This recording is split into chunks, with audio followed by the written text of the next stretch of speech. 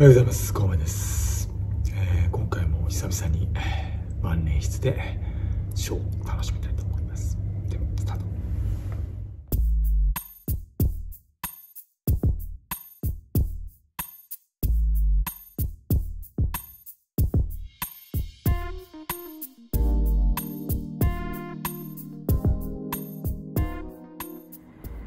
今回も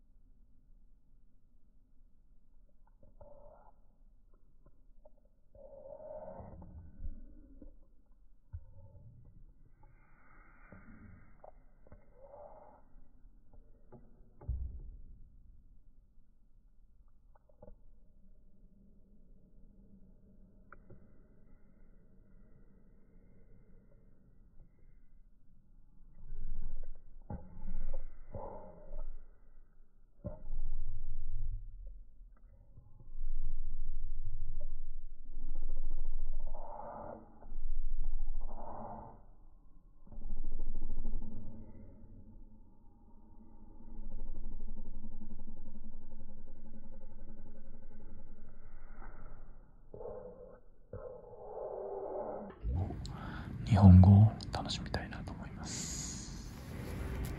早速書いてみましょうか。結構この用紙は使ってまして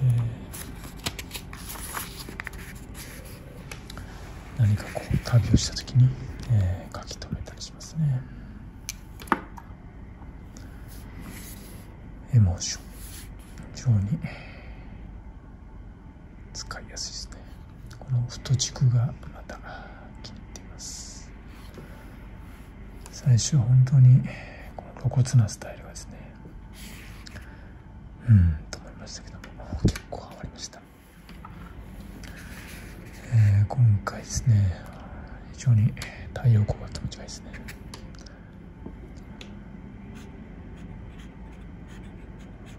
ピアニストさんプラスバーのお店に行きます、えーこの方が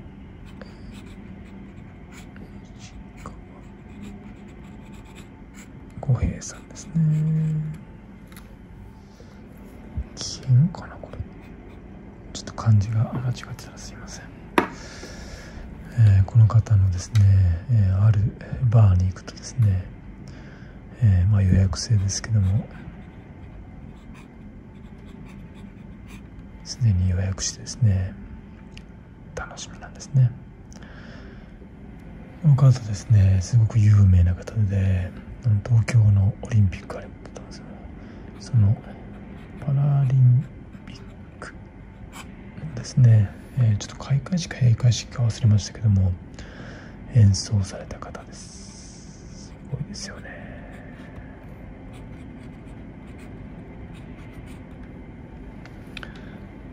ご縁ですね、えー、一緒に、まあ、お酒をですね交わしましてですねその時もピアノをちょっとお聞きしたんですけどもすごく心地よくですね予約してですね、えー今週の金曜日楽しみます。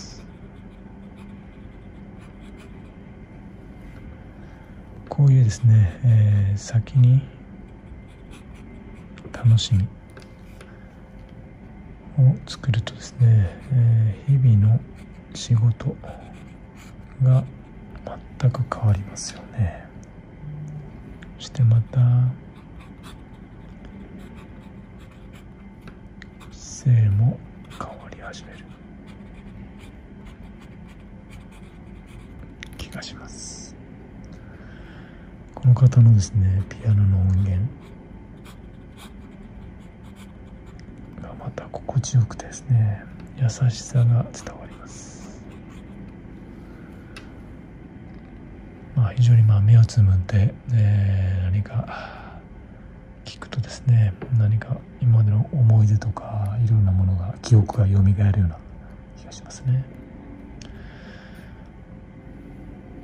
今回はこういった、たえー、まあ、未来先ですね、えー、その時間に向けて時間に向かうということを書き留めました、まあ、そのことによって心の準備にもなるかなと思いますね。皆さんこの先に、えー、何か楽しみありますでしょうか？それを設けることによって全く日々の仕事の仕方とか何か笑顔も変わる気がしますよね。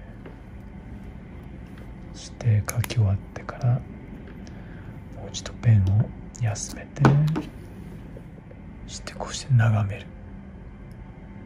こういう時間もいいかなと思います。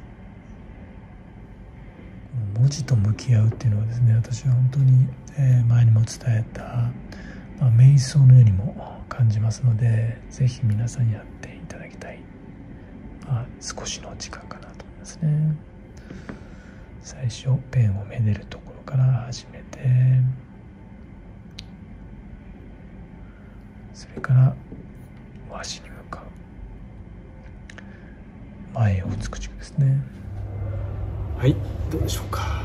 こうして日本語を書く時間っていうのは皆さんぜひ取ってみてください。結構心がスーッとします。本当に心地いいので。おすすめです。もしこの動画が良かったらいいねボタンチャンネル登録お願いします。ではまた次の動画